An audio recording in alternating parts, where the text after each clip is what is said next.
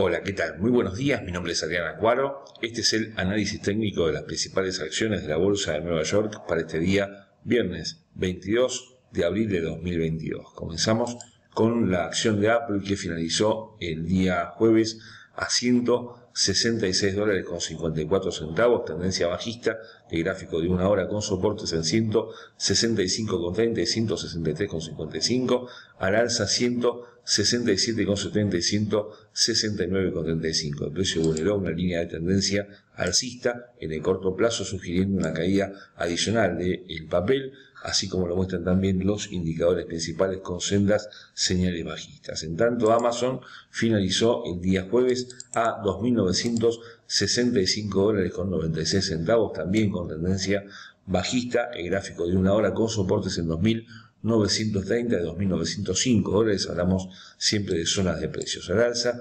2.990, 3.017 y 3.054 dólares con indicadores que presentan señales bajistas, pero también con una sobreventa muy marcada en el gráfico de una hora que sugiere una limitación de la caída de papel en la sesión de la fecha. Google, en tanto, finalizó el día jueves a 2.495 dólares con 89 centavos, tendencia bajista, el gráfico de una hora con soportes en 2.470 y 2.450 dólares, al alza 2.520 y 2.565 dólares. Los indicadores con señales bajistas en todos los casos sugieren una nueva caída del papel durante la sesión de la fecha, que en este caso está lejos de la zona de sobreventa. Finalmente Tesla finalizó el día jueves a 1.008 dólares con 57 centavos, tendencia bajista, de gráfico de una hora luego de dejar un gap importante entre el día miércoles y jueves de 109 dólares, tras lo cual cayó fuertemente para buscar cubrir ahora el gap